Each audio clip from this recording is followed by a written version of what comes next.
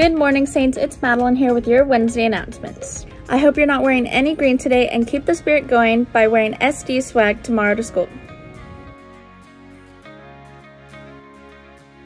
Go support the class of 2022's Grand Night fundraiser Saturday at Coldstone in San Dimas from 11 to 7 before the big game. Attention all saints, try out today for the upcoming drama production. See this flyer for more details.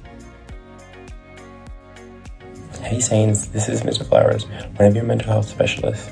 If you didn't already know, it's National Suicide Prevention and Awareness Week.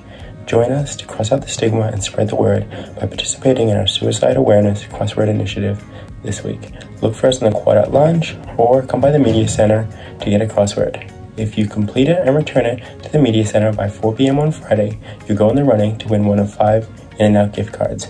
Winners will be given the prize on Monday.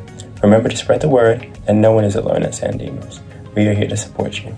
And be sure to support our volleyball teams today after school. Good luck, ladies. Good luck to our boys water polo team who plays away today in Los Altos. And that's all the announcements I have for today, Saints. Bye.